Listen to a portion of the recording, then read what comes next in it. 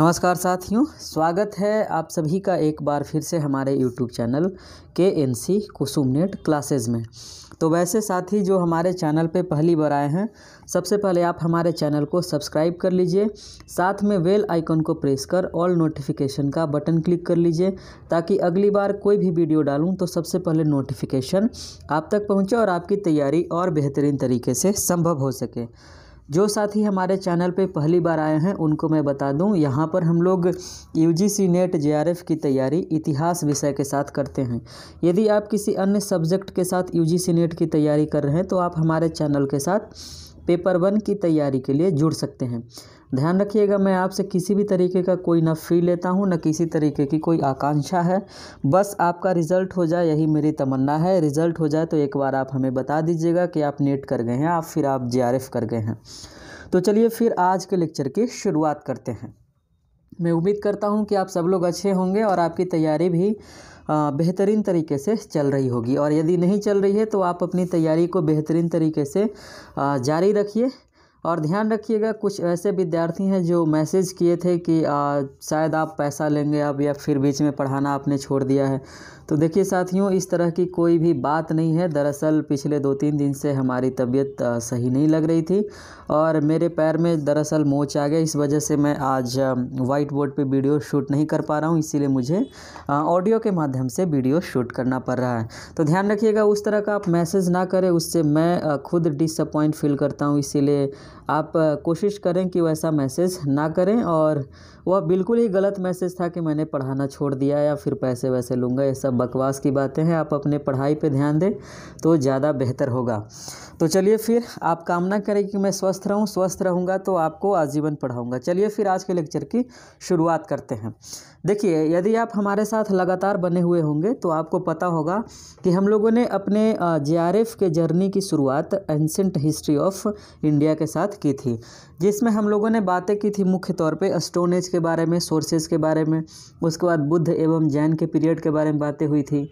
फिर हम लोगों ने बात किया था मगध महाजनपद के बारे में।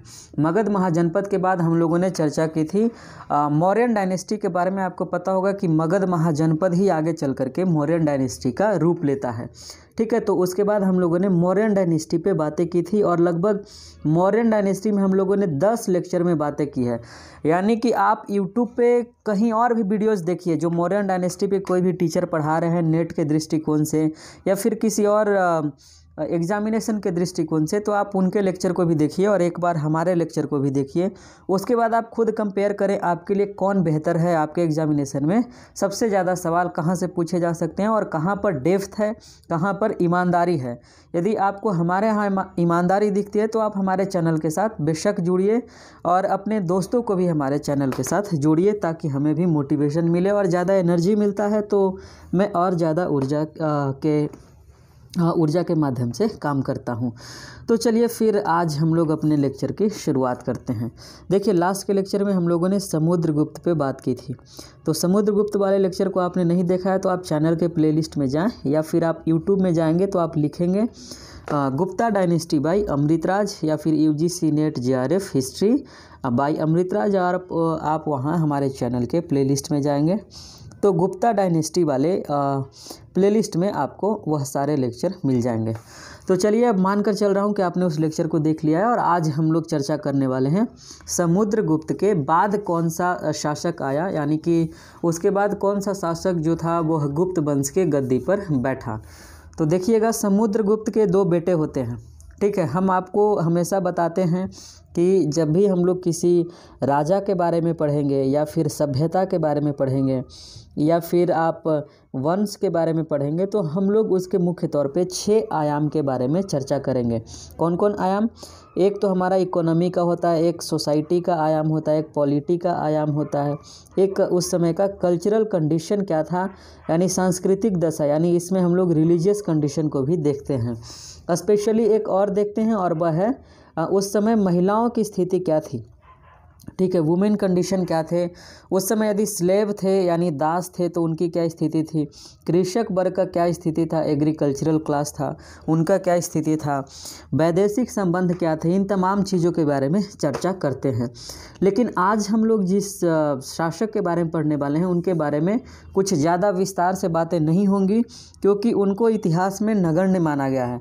लेकिन समुद्रगुप्त और चंद्रगुप्त सेकेंड विक्रमादित्य के बीच में एक गैप आता है। और उस गैप को पाटने में ही एक नए शासक का नाम आता है, जिसका नाम है रामगुप्त। ठीक है, ध्यान रखिएगा। तो समुद्रगुप्त के दरअसल दो बेटे हुए थे। ठीक है, समुद्रगुप्त के दो बेटे थे। एक का नाम था रामगुप्त, यह बड़ा बेटा था, और दूसरे बेटे का नाम था चंद्रगुप्त सेकंड। चंद्रगुप्त सेकंड। अच्छा चंद्रगुप्त प्रथम कौन थे साथियों? चंद्रगुप्त प्रथम समुद्रगुप्त के फादर थे। ठीक है तो समुद्रगुप्त के बेटे होंगे, उनका नाम होगा चंद्रगुप्त सेकेंड, जिनको आप चंद्रगुप्त द्वितीय विक्रमादित्य के नाम से जानते हैं, जो आगे चल करके मेहरौली लौह स्तंभ अभिलेख जारी करवाते हैं, जो आज के वर्तमान के दिल्ली के कुतुब मीनार के बगल में अभी भी लोकेटेड है। तो यदि आप दिल्ली में रहते हो तो आप उसे देख भी सकते हैं। यदि आप कहीं और रहते हैं और आप कभी दिल्ली आएँ तो आप उसे जाकर देख सकते हैं। वह अभी भी वैसा ही है जैसा कि जब जारी करवाया गया था, जैसा था वैसा आज भी बिल्कुल हूबहू है। तो चलिए फिर आज हम लोग रामगुप्त के बारे में एक एक करके चर्चा करते हैं। तो आप हमारे साथ चीज़ों को लिखते चलिएगा और लिखने से ज़्यादा आप समझने की कोशिश कीजिएगा। तो रामगुप्त के बारे में बेसिकली हम लोग पढ़ेंगे, रामगुप्त का आखिर प्रमाण हमें प्राप्त होता है। तो किस सोर्सेज से प्राप्त होता है? यानी कौन कौन से सोर्सेज हैं जो रामगुप्त के बारे में बताते हैं कि रामगुप्त नामक भी कोई शासक हुआ था? ठीक है, ध्यान रखिएगा, रामगुप्त केवल हमें पढ़ना इसलिए इंपॉर्टेंट है ताकि आपको गैप बीच में समझ में आ सके। आखिर यदि मैं समुद्रगुप्त के बाद डायरेक्ट चंद्रगुप्त, सेकंड विक्रमादित्य को शुरू करता तो आपके मन में सवाल उठ सकता था कि आखिर बीच के फ़ेज़ में फिर क्या हुआ?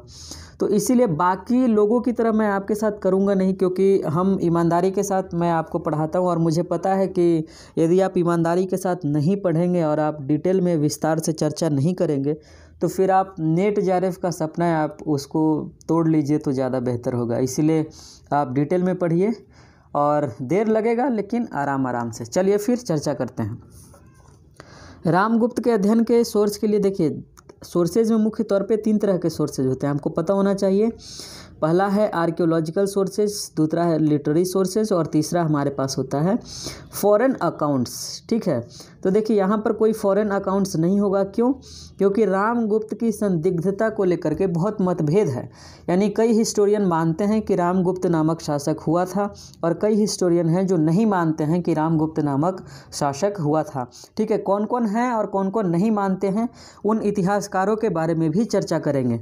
ठीक है तो मुख्य तौर पर हमारे पास कौन कौन है? आर्कियोलॉजिकल सोर्स और एक है लिटरेरी सोर्स ठीक है लिटरेरी सोर्स क्या होता है? जो साहित्यिक स्रोत हैं, यानी उस समय के या फिर उसके आगे या पीछे के जो कवि हैं, जिन्होंने कोई भी किसी तरीके का साहित्यिक, साहित्य लिखा है, किताबें लिखी है, वह सारे के सारे लिटरेरी सोर्सेज के अंतर्गत काउंट किए जाते हैं। आर्कोलॉजिकल सोर्सेज में क्या आएँगे? उस समय के जो क्वाइंस हैं, मुख्य तौर पर मोनूमेंट्स हैं इंस्क्रिप्शंस हैं, उसके बाद शिलालेख हैं, यह तमाम सारे जो चीज़ें हैं, वह अभिलेखीय सोर्स के अंतर्गत, यानी कि आर्कियोलॉजिकल सोर्स यानी पुरातात्विक स्रोत के अंतर्गत काउंट किए जाते हैं। तो आइए सबसे पहले साहित्यिक स्रोत के बारे में चर्चा करते हैं। देखिए, जब रामगुप्त की संदिग्धता को लेकर बहुत ज़्यादा विवाद था, तब 1924 ईस्वी में, ठीक है, एक बार देखिए, इस इस पीडीएफ को मैं आपको दे दूँगा, आप पीडीएफ के लिए आप हमारे चैनल के N C Kusum net classes Telegram का ज्वाइन कर लीजिएगा और आप सोशल मीडिया पे हैं तो आप हमारे फेसबुक के साथ जुड़ सकते हैं। अमृत राज के नाम से मैं फेसबुक चलाता हूँ। ठीक है, और मेरा नाम ही है अमृत राज। चलिए फिर तो अध्ययन के सोर्स में यदि लिटरेरी सोर्स की बात की जाए तो रामगुप्त के अध्ययन के लिए जो लिटरेरी सोर्सेज हैं, उसमें पहला नाम है देवी चंद गुप्तम। ठीक है, यह किताब का नाम है, यह एक देवी चंद्रगुप्तम दरअसल एक नाटक है और इसके लेखक का नाम है विशाख दत्त। देखिएगा, आप प्रीवियस ईयर के सवाल उठाएँगे तो आपसे पूछा जाता है, एक तरफ़ किताब का नाम दिया रहता है और दूसरे तरफ़ लेखक का नाम दिया रहता है।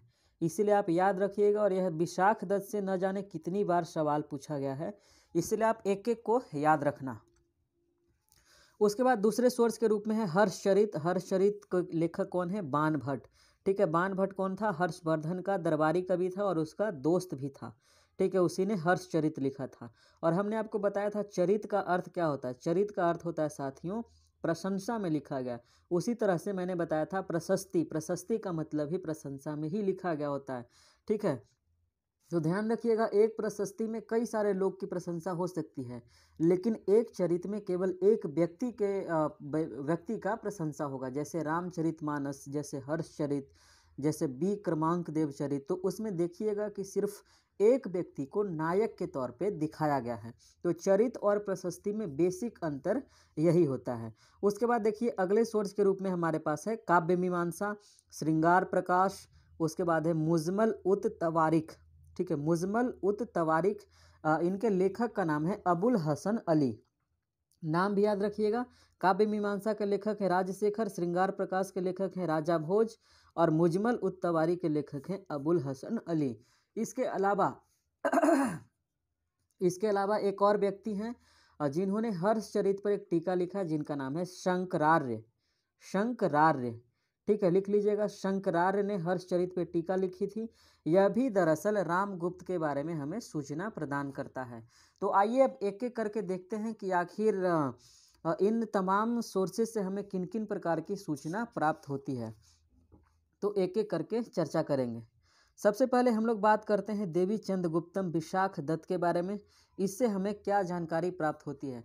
तो देखिए, इसमें दरअसल एक नाटक का उल्लेख किया गया है और देवी चंद चंद्रगुप्तम जो है अपने आप में एक नाटक है। ठीक है, लेकिन यह नाटक अब मूल रूप में यदि आप फाइंड आउट करना चाहें तो आपको नहीं मिलेगा, लेकिन इसका कुछ जो हिस्सा है वह नाट्य दर्पण के रूप में आपको मिल सकता है। इसकी रचना रामचंद्र और गुणचंद्र ने की थी, ठीक है? ध्यान रखिएगा, इसकी रचना जो है वह रामचंद्र और गुणचंद्र ने की थी। लेकिन फाउंडर के तौर पर यदि जाना जाए ठीक है, नाटक के तौर पे यदि जाना जाए तो यह विशाख दत्त को लेखक के तौर पे जाना जाता है। ठीक है, लेकिन नाटक लिखा था किसने? नाटक का गुणचंद्र और रामचंद्र ने। ठीक है, यदि आप देखोगे कि इसका जो एक हिस्टोरियन हुए हैं, जिनका नाम है लेबी।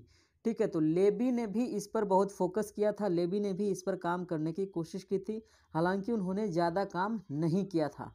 ठीक है तो इस, इसमें जो नाटक में बताया गया है, उससे हमें पता चलता है कि रामगुप्त बहुत ही कायर था, ठीक है? बहुत ही कायर था। कायर का मतलब क्या होता है साथियों? बहुत ही कमज़ोर था। और बताया जाता है, चूँकि आप देखोगे कि गुप्त डायनेस्टी का प्रारंभिक इतिहास देखेंगे तो यहाँ पर सभी प्रतापी शासक हो रहे हैं। और रामगुप्त पहला ऐसा शासक होता है जो कायर होता है, जो अपने वंश के लिए कलंक एक तरीके से आप कह सकते हैं, ठीक है? तो देखिए, रामगुप्त का आगमन कब होता है और कैसे होता है, थोड़ा सा आप इसको इंटरेस्टिंग वे में समझने की कोशिश करें। और दरअसल यह हिस्टोरिकल है। ठीक है? एक बार हुआ क्या था कि शकों का आक्रमण हुआ, ठीक है? उस समय आपको पता होना चाहिए कि शक डायनेस्टी जो है, वह इसके कॉन्टेम्प्रेरी शासन कर रही है। तो शकों ने जब आक्रमण किया तो उस आक्रमण के समय समुद्रगुप्त नहीं थे, बल्कि रामगुप्त शासन कर रहा था। तो रामगुप्त रामगुप्त दरअसल उस युद्ध में हार गया। तो रामगुप्त जब हारा तो उसको हार के तौर पे, यानी पराजय के तौर पे उसको अपनी पत्नी ध्रुव देवी ठीक है? उसकी पत्नी का नाम था ध्रुव देवी को भेजना था कहाँ? शकों के दरबार में, क्योंकि वह हार चुका था। तो उसी के समय रामगुप्त का भाई रहता है, छोटा भाई जिसका नाम है चंद्रगुप्त सेकंड, जिसको आगे चल करके चंद्रगुप्त द्वितीय विक्रमादित्य नाम पड़ेगा। ठीक है तो वह कहता है कि नहीं, यह ऐसा मैं नहीं होने दूँगा, क्योंकि यह मेरे खानदान के कुल के वंश के खिलाफ है। इसीलिए वह कहता है कि मैं भाभी को नहीं भेजकर, मैं खुद जाऊँगा साड़ी पहन करके, और फिर वहाँ पर साड़ी पहनकर वह खुद जाता है, और फिर शकों से वह लड़ाई लड़ता है। और शकों से जब वह लड़ता है और फिर वह शकों को पराजित कर देता है। इसीलिए आप देखोगे कि चंद्रगुप्त सेकंड विक्रमादित्य को शकारी भी कहा जाता है। शकारी नामक उपाधि उन्होंने धारण किया था। तो यह उनकी उपाधि थी किनकी? चंद्रगुप्त सेकंड विक्रमादित्य की। तो जैसे ही वह युद्ध जीतता है शकों से तो उसकी लोकप्रियता बढ़ने लगती है, उसकी पब्लिसिटी बढ़ती है। और जैसे ही पब्लिसिटी बढ़ती है तो वह अपने बड़े भाई रामगुप्त की हत्या कर देता है और उसकी पत्नी ध्रुव देवी, जो उसकी भाभी रहती है, उसके साथ वह वैवाहिक संबंध स्थापित कर लेता है और उससे विवाह कर लेता है। ठीक है तो यह कहानी था चंद्रगुप्त सेकंड विक्रमादित्य को राजा बनने की। तो रामगुप्त एक तरीके का कलंक था, ठीक है, उसके बारे में यहाँ पर नाटक में उल्लेख किया गया है।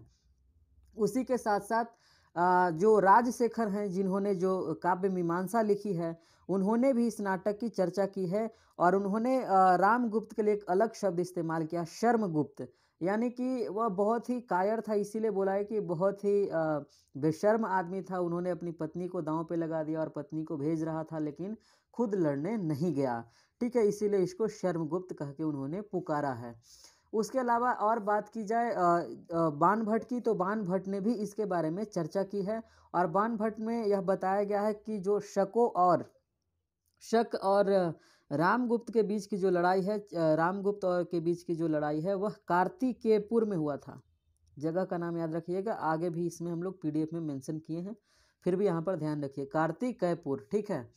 उससे किससे जानकारी मिलता है? हर्षचरित से उसके अलावा हर्षचरित के अलावा यदि और बात की जाए जैसे आप देखेंगे कि श्रृंगार प्रकाश है, एक हमारे पास जो कि राजा भोज के लिखी हुई है तो वह खुद राजा भोज एक सम्राट थे, आपको पता होना चाहिए। इसीलिए इनका नाम भी है राजा भोज। तो इन्होंने भी अपने काव्य नाटक श्रृंगार प्रकाश में रामगुप्त के बारे में बताया है। उसके अलावा अबुल हसन हली अली ने भी अपने आ, किताब में मुजमल उथ तवारीख में इसकी चर्चा की है। तो देखिए इन तमाम साहित्यिक स्रोतों से रामगुप्त के बारे में पता चलता है।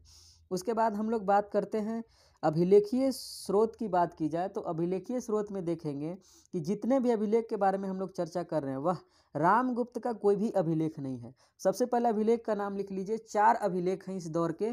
पहले का नाम है संजन का लेख काम्बे का लेख, तीसरे का नाम है सांगली का लेख और चौथे का नाम है दुर्जनपुर का अभिलेख। इसको विदिशा का भी अभिलेख कहा जाता है। तो देखिए, शुरुआत के जो तीन अभिलेख हैं, संजन अभिलेख हों या काम्बे अभिलेख हों या सांगली अभिलेख हों, यह दरअसल इसमें भी उसी घटना की चर्चा की गई है जो देवी चंद्रगुप्तम नामक नाटक में की गई थी। और यह तीनों का तीनों जो अभिलेख है, वह राष्ट्रकूट वंश का है। ध्यान रखिए, आपसे सवाल पूछा जा सकता है। संजन अभिलेख काम्बे अभिलेख, सांगली अभिलेख, तीनों के तीनों राष्ट्रकूट वंश का अभिलेख है। लेकिन चर्चा इसमें किसकी की गई है? गुप्त वंश के शासक रामगुप्त की, जो कि चंद्रगुप्त सेकंड विक्रमादित्य का बड़ा भाई है। ठीक है? संजन लेख जो है, संजन लेख के बारे में आप लिखें थोड़ा सा संजन लेख दरअसल राष्ट्रकूट वंश का एक शासक हुआ, जिसका नाम है अमोघ वर्ष प्रथम। ठीक है, अमोघ, आप लिखते चलें, अमोघ वर्ष प्रथम। और अमोघ वर्ष प्रथम का फ़ेज़ है आठ सौ इकहत्तर ए ठीक है, मेरा पेन थोड़ा ख़राब हो गया, इसलिए ठीक से चल नहीं रहा, आप लिखें, अमोघ वर्ष प्रथम। और यह आठ सौ इकहत्तर ए का है और इसके अभिलेख में रामगुप्त के बारे में चर्चा की गई है। उसके अलावा और अभिलेख की बात की जाए, जैसे काम्बे अभिलेख है तो काम्बे अभिलेख का टाइम फ्रेम है 930 एडी ठीक है 930 एडी और तीसरे अभिलेख है जो हमारे पास, सांगली का अभिलेख हुआ है 933 एडी का, ठीक है, नौ सौ नौ सौ तीस हो गया यह और 933 सांगली का, ठीक है टाइम की बात की जाए तब। यह दरअसल राष्ट्रकूट वंश का ही एक शासक हुआ। एक का नाम है गोविंद चतुर्थ और दूसरे का नाम है आ, दूसरे का नाम नहीं एक ही का नाम है गोविंद चतुर्थ और दूसरे का नाम भी है गोविंद चतुर्थ। यानी कि काम्बे अभिलेख और सांगली अभिलेख दोनों का दोनों गोविंद चतुर्थ का लेख है। ठीक है गोविंद चतुर्थ। और यह भी कौन है? यह भी राष्ट्रकूट वंश का शासक है साथियों। ध्यान रखिएगा। ठीक है तो तीनों के तीनों राष्ट्रकूट अभिलेख हैं और इसमें चर्चा है रामगुप्त के बारे में। उसके बाद आगे देखते हैं, अगला जो हमारे पास है, दुर्जनपुर और विदिशा का अभिलेख, उसमें भी चर्चा की गई है। और आप ध्यान रखिए, विदिशा कहाँ में है? ध्यान रखिएगा, याद रखिएगा, विदिशा दरअसल, विदिशा है मध्य प्रदेश में। ठीक है, आपको पता होना चाहिए, विदिशा मध्य प्रदेश का हिस्सा है। वहाँ से भी तीन जैन मूर्तियाँ प्राप्त हुई हैं। ठीक है और उन जैन मूर्तियों की चोटियों पे दरअसल तीन लेख उत्कीर्ण है, ठीक है? उस लेख में महाराजा धीराज रामगुप्त का चर्चा मिलता है। ठीक है, लिख लीजिएगा। विदिशा से तीन जैन मूर्तियाँ मिली हैं, उनके चोटी पर तीन अभिलेख हैं और उन तीन अभिलेख में महाराजा धीराज रामगुप्त की चर्चा मिलती है। और यह भी पता चलता है कि रामगुप्त दरअसल जैन धर्म को मानने वाला व्यक्ति था। ठीक है, जैन धर्म का, मानने वाला जैन धर्म का अनुयायी था। यह तो साथियों बात हो गई अभिलेख के बारे में। अब थोड़ा सा हम लोग बात कर लेते हैं। मुद्रा से संबंधित जो सोर्सेज मिले हैं, यानी कि जो सिक्के उस दौर के प्राप्त हुए, मुख्य तौर पे दो जगह से सिक्के प्राप्त हुए हैं। पहले जगह का नाम है एरन और दूसरे का नाम है भीलसा। यहाँ पर हमने भीलस लिखा है। तो आप भीलसा इसको कर लें। एरन एवं भीलसा से प्राप्त हुआ है। ठीक है, यह सारे के सारे सिक्के जो हैं वह तांबे की है। एकदम खास बात है कि तांबे के सिक्के हैं और एक मुद्रा शास्त्री हुए हैं जिनका नाम है परमेश्वरी लाल गुप्त। ठीक है, परमेश्वरी लाल गुप्त ने जब रिसर्च किया तो उनको छह सिक्के ऐसे मिलते हैं, जिनमें से एक पर राजा का पूरा नाम है रामगुप्त और बाकी सिक्कों पर उसके नाम के कुछ अक्षर हैं, जैसे राम, मगु, गुप्त इत्यादि। और इसको आप पढ़ भी सकते हैं। यहाँ आपके पास अवेलेबल है। यदि आप एंशेंट हिस्ट्री पर रिसर्च कर रहे हैं आर्कियोलॉजी पे तब उसमें आप इस चीज़ पे काम कर सकते हैं। इसमें डिटेल में सोर्सेज उपलब्ध हैं, आप इसको आराम से पढ़ सकते हैं। ठीक है, उसके अलावा आप देखोगे journal of numismatic society of India और उसके खंड बारह के पेज नंबर एक सौ और एक सौ सात में देखेंगे तो इसकी चर्चा की गई है। चलिए तो इस सिक्के के आधार पर दरअसल पता किया गया है कि विदिशा तक इसका अंपायर था और विदिशा में यह शासन कर रहा था और उन सिक्कों पे जो नाम उत्कीर्ण है रामगुप्त या राम या मगु, उसी के आधार पर यह निष्कर्ष निकाला गया है कि इसका जो साम्राज्य विस्तार है वह विदिशा तक था। चलिए, इसके अलावा यदि और बात की जाए तो मध्य प्रदेश में ही एक यूनिवर्सिटी है जहाँ से दुनिया में के सबसे बड़े फिलोसफर में एक नाम काउंट किया जाता है ओशो का जो कि भारत के ही हैं। उन्होंने सागर विश्वविद्यालय से पढ़ाई की थी। तो सागर का जो, सागर यूनिवर्सिटी का जो एंशेंट हिस्ट्री डिपार्टमेंट है, वहाँ के प्रोफेसर कृष्ण दत्त वाजपेयी ने भी एरन से रामगुप्त के कुछ सिक्के प्राप्त किए हैं। और उन सिक्कों पे सिंध की, ठीक है? किसका? सिंध का। ध्यान रखिएगा, सिंह का और गरुड़ का। ठीक है, उन सिक्कों पे सिंह तथा गरुड़ की आकृतियाँ उस पर उत्कीर्ण है। और राजा का नाम भी है जिसमें राम है रामगु है मगुप्त है इन इस तरह के नाम की उस पर जानकारी दी गई है जिससे यह निष्कर्ष निकाला जाता है कि यह सिक्के रामगुप्त के सिक्के हैं। चलिए यह तो इसके बारे में बातें हो गई ध्यान रखिएगा। नाम ज़रूर याद रखना साथियों बार बार बोल रहा हूँ। अच्छा यदि आपसे सवाल पूछा जाए कि आ, पहली बार जब यदि रामगुप्त के ऐतिहासिकता के बारे में किसी को पता चला कि हिस्टोरिकली कोई रामगुप्त के नामक शासक हुआ इतिहास में तो उसके बारे में किसने पता लगाया था? उनका नाम है राखाल दास बनर्जी, जिनको आप आर डी बनर्जी के नाम से जानते हैं। तो राखाल दास बनर्जी ने पहली बार रामगुप्त को इतिहास में जगह दी। दरअसल 1924 नवंबर का महीना था और बनारस हिंदू विश्वविद्यालय, जिसे आप बीएचयू कहते हैं, वहाँ पर एक व्याख्यान, यानी वहाँ पर एक कॉन्फ्रेंस का आयोजन किया गया था, और उस कॉन्फ्रेंस का नाम था मनिंद्र चंद ठीक है, लिखिएगा। मनिंद्र चंद्र नंदी व्याख्यान माला ठीक है, और इसमें दरअसल इनवाइट किया गया था राखाल दास बनर्जी को बोलने के लिए। तो राखाल दास बनर्जी ने साक्ष्य के आधार पे इसमें पहली बार भारतीय इतिहास में बताया कि गुप्त वंश में रामगुप्त नामक भी कोई शासक हुआ है, जिसका टाइम फ्रेम समुद्रगुप्त का बाद है। ठीक है, समुद्रगुप्त के बाद का है। इसीलिए आप इसको लिखिएगा, मैंने यहाँ पे मेंशन कर दिया है, समुद्रगुप्त के दो पुत्र हुए थे, रामगुप्त और चंद्रगुप्त सेकेंड चलिए तो यदि आपसे इस तरीके के सवाल पूछें तो नाम ज़रूर याद रखिएगा। आगे देखते हैं, शकों का आक्रमण के बारे में भी हमने आपको बता दिया। रामगुप्त की हार हुई थी और चंद्रगुप्त सेकंड फिर गया था तो वह जीत गया था। ठीक है, उसके बाद शकों को लेकर के, यानी कि कुछ लोगों को लगता है, कुछ ऐसे हिस्टोरियन हैं, जिनको मानना यह है कि रामगुप्त की लड़ाई शकों के साथ नहीं होकर के कुषाणों के साथ हुई थी। लेकिन कौन कौन है उनका नाम नगण्य है, ठीक है तो ध्यान रखिएगा, कुछ हिस्टोरियन का मानना है कि वे लोग कुषाण वंश के साथ लड़े थे, कुछ का मानना है कि शक वंश के साथ लड़े थे। युद्ध के स्थान की बात की जाए तो युद्ध के स्थान को लेकर के भी कन्फ्यूज़न है। कन्फ्यूज़न नहीं बोलिए डिबेट है, एक डिस्प्यूट है, ठीक है। कन्फ्यूज़न नहीं होता है, डिस्प्यूट होता है, माफ़ कीजिएगा उसके लिए, वह शब्द मैंने इस्तेमाल किया। युद्ध का स्थान की बात की जाए तो अलीपुर है, कुछ लोग अलीपुर कहते हैं, कुछ लोग कार्तिकेय नगर कहते हैं और कुछ लोग पंजाब की कांगड़ा पहाड़ी कहते हैं। और कुछ प्रयाग प्रशस्ति में दरअसल कार्तिपुर नामक एक शहर की चर्चा की गई है, जहाँ के बारे में बताया गया है कि वहाँ पर दरअसल शको और रामगुप्त के बीच में लड़ाई हुआ था। रामगुप्त की पत्नी का नाम ध्रुव देवी था, आपको पता होगा। रामगुप्त का विरोध करने वाले भी कुछ हिस्टोरियन हुए हैं, जिन्होंने कहा कि नहीं नहीं, ऐसा नहीं है, रामगुप्त नामक कोई शासक नहीं हुआ था। तो किसने कहा था कि रामगुप्त नामक शासक हुआ है? तो पहले व्यक्ति का नाम है राखाल दास बनर्जी, उन्होंने कहा था। और किन्होंने कहा कि नहीं हुआ, उनका नाम भी आप लिख लीजिए, उनका नाम है B A Smith H C Rai Chaudhari, पूरा नाम है हेमचंद राय चौधरी, रमेश चंद्र मजुमदार। ठीक है, इन लोगों का कहना है कि गुप्त काल में रामगुप्त नामक कोई भी शासक नहीं हुआ। ठीक है, उसके लिए इन लोगों ने अपना लॉजिक भी दिया और इनका लॉजिक दरअसल क्या है, उसको भी आप लिख सकते हैं। पहले कारण के तौर पे इन्होंने बताया कि गुप्त अभिलेख, यानी कि गुप्त काल के जो लेख मिलते हैं, उसमें रामगुप्त का उल्लेख कहीं पर भी नहीं मिलता है। इस आधार पर इन्होंने कहा कि रामगुप्त नामक शासक नहीं हुआ था।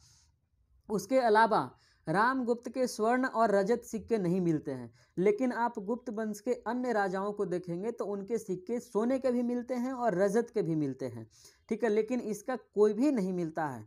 उसके अलावा तीसरे काउज के रूप में इन्होंने कहा कि चंद्रगुप्त अपने बड़े भाई की हत्या करता है और उसकी पत्नी के साथ विवाह करके गद्दी पर बैठ जाता है। यह दरअसल यह बात गुप्त वंश को शोभा नहीं देता है, क्योंकि गुप्त काल को भारतीय इतिहास का स्वर्ण युग माना गया। आपको पता होगा गोल्डन पीरियड कहा गया है गुप्त काल को, ठीक है? तो कहते हैं कि इस तरीके के गोल्डन पीरियड में इस तरह की घटनाएँ नहीं घट सकती है। उसके बाद चौथे लॉजिक के तौर पर यह कहते हैं कि गुप्त लेखों में चंद्रगुप्त को तत्परिगृहित कहा गया है और जिसका अर्थ है कि वह अपने पिता के द्वारा उत्तराधिकारी चुना गया था। यानी कि जब चंद्रगुप्त सेकेंड अपने पिता के द्वारा चुना गया था तो फिर रामगुप्त की हत्या करके वह गद्दी पर क्यों बैठेगा? तो इस तरह के तीन चार लॉजिक देते हैं। दो तीन historian B A Smith Hemchand Rai Chaudhari and Ramesh Chandra Majumdar. तो देखिए, यह मुख्य काउज थे इनके और इस लॉजिक के आधार पर इन्होंने काटने की कोशिश की है। चलिए, ये तो डिबेट की बातें हो गई। आ, एक दो पॉइंट और है, उसको भी आप देख लीजिए, उसके बाद यह लेक्चर खत्म करते हैं। लास्ट का पॉइंट है, गोयल साहब, ठीक है, गोयल नामक एक गोयल साहब नामक हिस्टोरियन ने कहा कि रामगुप्त अपने पिता के समय मालवा का राज्यपाल रहा होगा। ठीक है रामगुप्त अपने पिता के समय मालवा का मालवा कहाँ का प्रदेश है? मध्य प्रदेश के इलाका है ठीक है मध्य प्रदेश के आसपास का इलाका है। यानी गोयल ने माना है कि वह मालवा का राज्यपाल रहा होगा। यानी कि यदि आपसे यह पूछा जाए कि गोयल किस आ, किस तरफ़ है यानी वह मान रहे हैं कि रामगुप्त नामक शासक हुआ था। तो देखिए चलिए रामगुप्त के बारे में इतना ही साथियों। आज के लेक्चर को हम लोग यहीं पर समाप्त करते हैं। एक बार फिर से मैं बोल रहा हूँ, आप लोग डिसअपॉइंट मत होइए, आप लोग आराम से पढ़िए, बिंदास पढ़िए नोट्स बना करके पढ़िए। लेक्चर जाने में लेट होता है तो आप किताब को पढ़ते रहिए बोर मत होइए और हंड्रेड परसेंट डिपेंड मत होइए साथियों, आपको पढ़ना होगा। ठीक है, चलिए फिर लेक्चर को समाप्त करते हैं। आप अपना एवं अपनों का ख्याल रखिए और लोगों से प्यार करते रहिए। और आप नए साथियों को हमारे चैनल के साथ प्लीज़ जोड़िए, क्योंकि उससे हमें मोटिवेशन मिलता है एनर्जी मिलता है तो काम करने में और मज़ा आता है। फिर मिलेंगे अगले एपिसोड में। तब तक के लिए आप अपना ख्याल रखिए। बाय बाय टेक केयर जय हिंद जय भारत